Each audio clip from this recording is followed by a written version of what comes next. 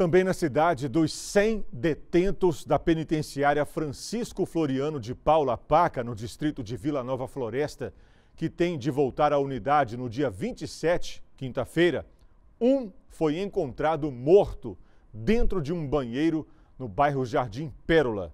Vamos saber desse caso ao vivo com o repórter Sávio Scarabelli. Sávio, a gente noticiou aqui na sexta-feira sobre esse benefício concedido pela Vara de Execução Penal da Justiça de Governador Valadares e agora, nesse fim de semana, a gente fica sabendo que dos 100 detentos que tiveram esse benefício, um acabou morrendo. Boa noite para você.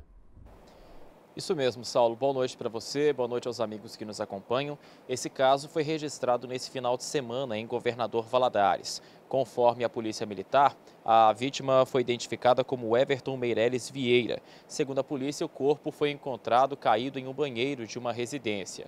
É, a vítima havia saído recentemente né, da penitenciária Francisco Floriano de Paula, estava usufruindo do benefício da saída temporária.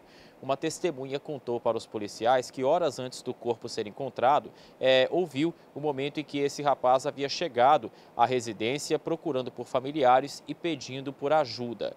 É, junto ao corpo havia várias marcas de pegadas sujas de sangue.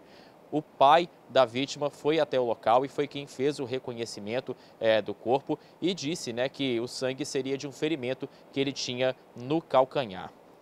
A polícia disse que não houve sinais de violência encontrados no corpo que passou por perícia da Polícia Civil e em seguida foi encaminhado ao IML de Governador Valadares. O caso está sendo investigado. Eu volto com você, Saulo.